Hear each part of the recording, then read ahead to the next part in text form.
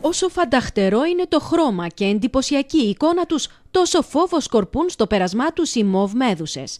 Για την Κρήτη, ωστόσο, δεν υπάρχει λόγος ανησυχίας, σύμφωνα με το Ελληνικό Κέντρο Θαλάσσιων Ερευνών, καθώς όπως προκύπτει από την έρευνα των επιστημόνων, δεν έχουν καταγραφεί μεγάλοι πληθυσμοί στο νησί που θα μπορούσαν να προκαλέσουν προβληματισμό, ούτε ανησυχητική παρουσία του θαλάσσιου οργανισμού. Σε άλλες περιοχές, θαλάσσιες περιοχές της Ελλάδας, έχουν παρουσιαστεί όντως ε, κάποιες έτσι, αυξημένοι πληθυσμοί ε, τέτοιων μεδουσών.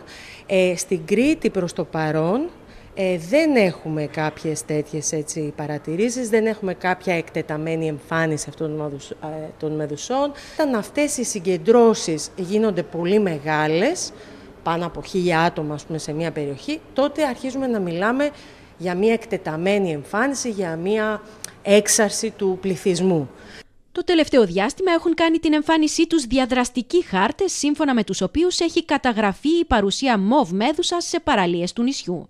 Όπως εξηγούν όμως οι ερευνητές, πρόκειται πιθανότατα για μεμονωμένες περιπτώσεις που αναφέρθηκαν από πολίτες και μέδουσες που εμφανίστηκαν στις παραλίες τα προηγούμενα χρόνια.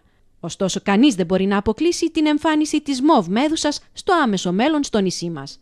Βέβαια, μπορεί και να αποκτήσουμε. Δηλαδή, με την κλιματική αλλαγή, με τις αυξημένες θερμοκρασίες, ε, με κάποια έντονα καιρικά φαινόμενα όπως είναι κάποιες ε, βροχοπτώσεις ε, που έχουμε ιδιαίτερα κατά την περίοδο της Άνοιξης, έντον, έντονες ε, βροχοπτώσεις. Ε, επίσης με την υπεραλίευση. Μεμονωμένα είναι και τα τσιμπήματα από τσούχτρες στις ακτές του νησιού. Ωστόσο, επειδή μπορεί να προκύψουν απρόοπτα στις παραλίες, καλό θα είναι να γνωρίζουν όλοι τις πρώτες κινήσεις που ανακουφίζουν από πόνο και κνισμό ρίχνουμε θαλασσινό νερό, ε, μπορούμε να χρησιμοποιήσουμε παγοκίστης ή πάγο πάνω στο σημείο το οποίο έχει έρθει σε επαφή.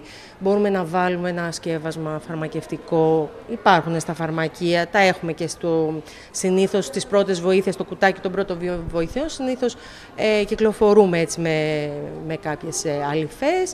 Ε, το άλλο που έχω ακούσει είναι για τη μαγειρική σόδα, ότι ε, ανακατεύοντάς την ε, με θαλασσινό νερό μπορεί επίσης να κάνει καλό. Ωστόσο, αν η κατάσταση επιδεινωθεί, θα πρέπει να απευθυνθούμε σε γιατρό. Σύμφωνα με τους επιστήμονες, δεν είναι όλες οι τσούχτρες επικίνδυνες, ωστόσο, αν αντιληφθούμε την παρουσία τους στις παραλίες, θα πρέπει να τις αποφύγουμε.